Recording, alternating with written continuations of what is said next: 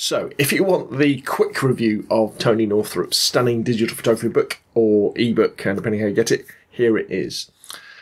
With 233 pages and over three hours of video training, um, with quizzes to help you remember what you've learned, practical examples to go out and try yourself, and exclusive access to a readers forum and a Facebook page for get dedicated help, and you also get free updates for life with this book whether you buy it as an ebook for about a fiver or a paperback with the ebook for about 15 quid, it's an absolute bargain for the beginning photographer or the maybe the more advanced shooter who wants to revisit the basics or learn more about a specific area of photography.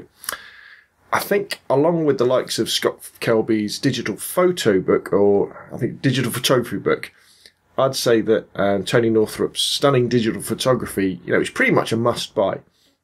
And it's the type of book that have you reading through the whole thing first, and then you'll be coming back to it as a reference for the rest of your photo- photographic life when you want to sharpen your skills about uh, a particular genre. So that's the quick part over. And now let's get into the details of if you're not convinced or maybe you're a little bit skeptical about how good, good this book is. Now, the first thing, Tony Northrup knows how to write instruction manuals. He's written over 25 of the things for Microsoft, um, O'Reilly, and Sam's Publishing. And I've got to say, this book, when it comes to the learning the technical sides of large parts of the art, it's really comprehensive indeed. Each chapter includes a detailed explanation of why and how you should go about photographing a certain scene or situation the camera equipment and settings you might need, um, and then there's the links to videos or embedded videos, depending on how you how you're reading the book, whether you're reading it on an e-book, reader, or you know on your laptop or on your phone.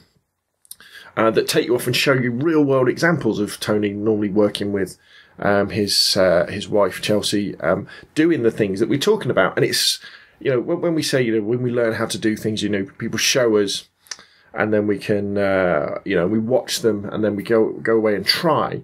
Um, those those YouTube videos videos are incredibly incredibly helpful.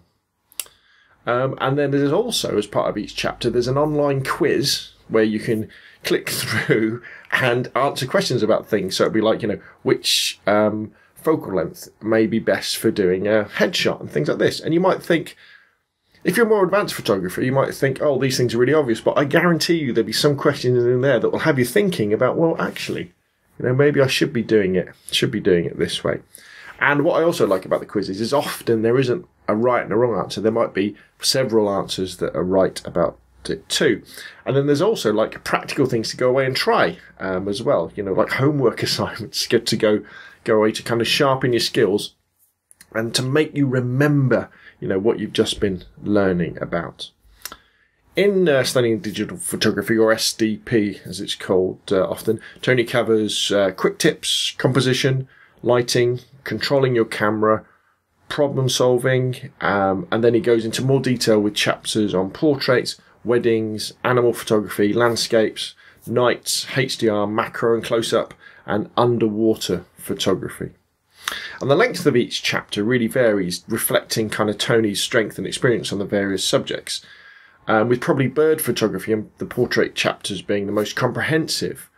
Um, but also remember that Tony is committed to giving you a lifetime of free updates for this book. So as he includes more information, the book will get bigger, things will be um, updated, and uh, and I'm sure he's going to increase the scope as well. You know, I'd like to see maybe sections on sports photography, maybe motorsport photography, astrophotography. He does some night photography with stars, but you know how to, to really zoom in and take photographs of um, planets and solar systems and things, um, uh, uh, galaxies and things like that with telescopes, and maybe a little bit more on post processing. Post processing. Now I know he does do the separate Lightroom books, but it'd be nice to have a a bit about maybe even things about simple post processing in Picasa and uh, Lightroom, maybe Photoshop, the GIMP, because as much as we talk about technique and how to do stuff, um, post processing with digital photography is kind of it, it really is key. Almost every single photograph you take will benefit from some kind of uh, post processing, um, because if you think about the days when we used to use film,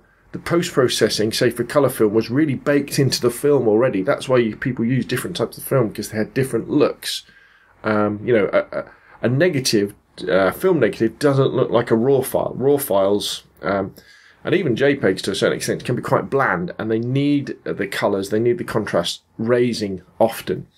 Um, and so I think it would be important to, to have a little bit more detail about that as well.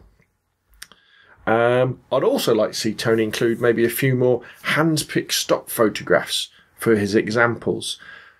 Most of the photos he includes, you know, they are stunning, um, which he or his wife has taken. But one of the biggest parts about learning to take better photographs is by looking at really great photos. So maybe more of a breadth of talent on show uh, in the book would definitely improve the publication. I'd also say that it does have the feel of a bit of a technical manual. I mean, because you can argue, you know, photography is a large part technical, isn't it? Um, and there's not that much example of, of humour in it as well. So I tell you what, I'd like to see. I'd like to see more input from Chelsea as well, because if you watch their live show uh, on YouTube, she goes, she is really, really funny with what she says, and I'd like to see more of that in, go into the book as well, because it would kind of liven things up a bit, and uh, it would bring a smile to your face while you're learning all this great information too. Now, I only bought the digital version of this book, but I like it so much that I'll definitely be buying the paperback version and Tony's Lightroom book as well. And then I'll do a review of that soon. Um, so I recommend if you're a beginner photographer or a more experienced photographer looking to revisit, you know, some of the basics or learn about some different aspects of photography, I'd say, you know, head on over to Amazon or Tony's own website over at I think it's sdpcommunity.com. Again, I'll put links in the show notes down below. Um, grab yourself a copy of SDP. You know, it really is highly recommended. Okay, that's enough from me. If you've enjoyed the video, please like it, please share it. If you enjoyed listening to me, please subscribe, and I'll see you again soon.